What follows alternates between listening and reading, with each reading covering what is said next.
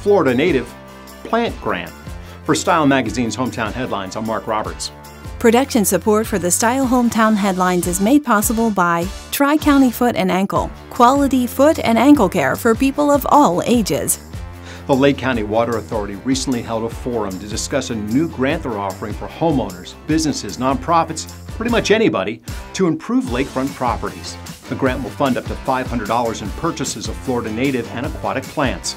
For more information, visit lcwa.org. Clermont's Lake Pointe Academy was recently designated as a certified schoolyard habitat through the National Wildlife Federation's Garden for Wildlife program. The transformation will allow students to engage in learning in a hands-on way with Florida wildlife and native plants. Lake Sumter State College recently announced it will receive $17.5 million from the state of Florida for the state-of-the-art Workforce Development Center. The center will provide hands-on experiences for Lake Sumter students.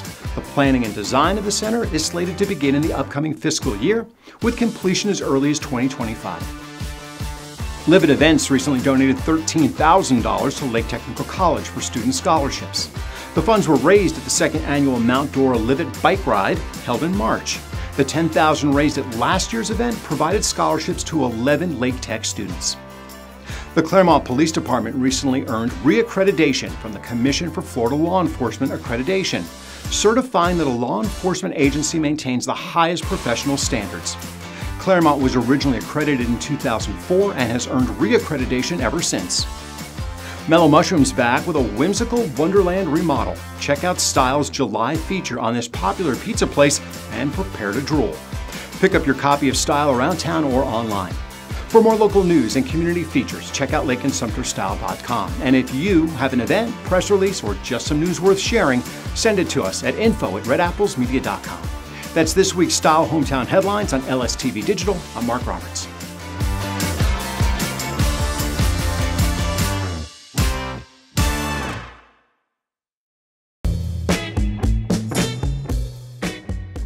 Walking the dog was extremely painful. I had ingrown toenails and it was really hard to walk, of course. And I went to Dr. Wu's office at Tri-County Foot and Ankle and then removed the ingrown toenail. And voila, I can walk again. Schedule your appointment at Tri County Foot and Ankle, tcfavillages.com.